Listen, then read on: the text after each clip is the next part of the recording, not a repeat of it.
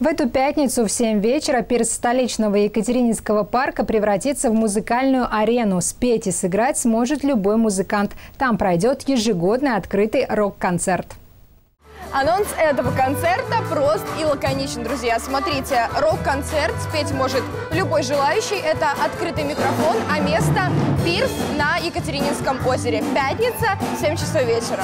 С нами поделились организаторы, что в этом году будут участвовать даже закрытые и стеснительные уличные музыканты, уличные группы. Э, к слову сказать, что все готовятся, подходят к этому серьезно. И даже э, профессиональная группа антидепрессанты усердно репетирует каждый день, чтобы все прошло так, как они задумали.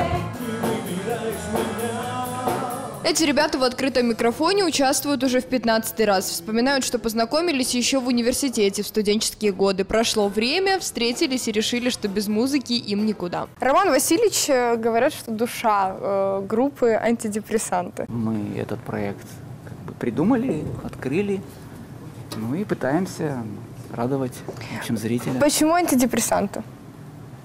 Ну, потому что решили, что такое название очень точно раскрывает э, как бы, нашу такую позицию нести радость людям. Проект «Открытая рок-сцена» посвящен именно русскому року. Музыканты долго думали, чтобы такое спеть, и остановились на трех композициях, которые точно знают все.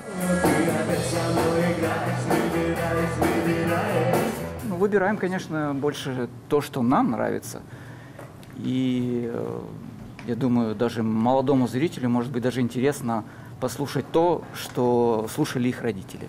В антидепрессантах у всех семьи, дети, внуки. Но на репетиции время найдется всегда, и это не обсуждается. Каждый на сцене выполняет свою важную роль. И если кто-то один не приходит, плохо всей группе. Яна и Саша солисты работают и сольно, и в дуэте. А гитарист, клавишник, бас-гитарист и барабанщик вообще незаменимые музыканты. Так искренне считают их слушатели. Группа готовится основательно. Знает, что конкуренты на пирс в Екатерининском парке выйдут серьезные. Открытый микрофон, он так такой. Анна Кучеренко, Михаил Белый, ТСВ.